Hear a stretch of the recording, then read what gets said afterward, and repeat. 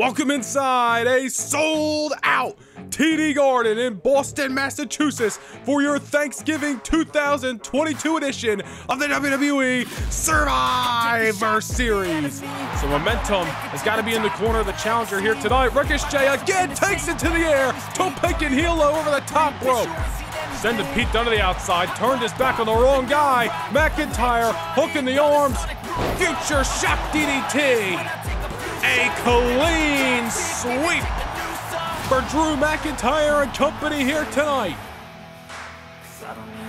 One of the heart and souls of WWE for many years. Dolph's had a decorated career, and forget what we were about to say, because that may have been a knockout blow. Super kick, but Tommaso Ciampa gets his shoulder up at the last second. And we may be in Cena's hometown, but just as it always is, the crowd split hot and heavy here tonight in Boston for this last man standing grudge match.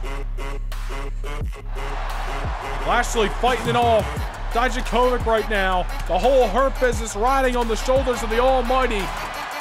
Oh no, Dijakovic, Dijakovic, retribution's in mind. Feast your eyes on Bobby Lashley.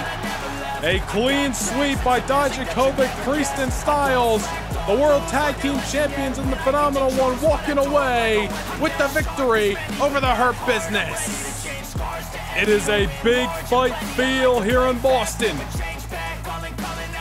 Display with Randy Orton ever since, and Edge eats the cell. And Edge is trying to fight back. Felt the steel, the cold, steel cold of the cell. Doesn't want to do it again, and Edge sent Randy Orton through the cage wall. Oh no, Edge spear! A spear on top the cell! The table's in play. Orton again sends Edge through the wood of the table. I think Edge may be the one now counting his lucky stars and he avoided disaster. Orton may be in trouble. Edge in the corner. This is what Edge needs to walk away the champion. A spear.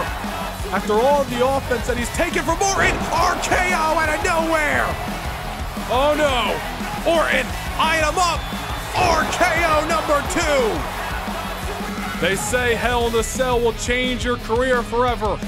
And I don't know if Edge nor Randy Orton, no matter the result, will ever be the same again. The WWE has entered an age of Orton, the new WWE champion, the Apex Predator.